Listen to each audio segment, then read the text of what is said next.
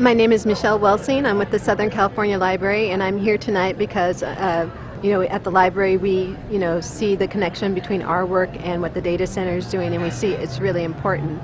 And I think, especially hearing the history tonight and hearing some of where uh, the data centers come from and where they're trying to go, reminds me of what we're trying to do as well. And I think grappling with these questions of research justice and how do we really make sure that our work is accessible and meaningful and relevant to people who are working for change is vital. So I was really glad to be here tonight to be able to hear that and to see uh, how the data center is moving forward with uh, this whole concept of research justice.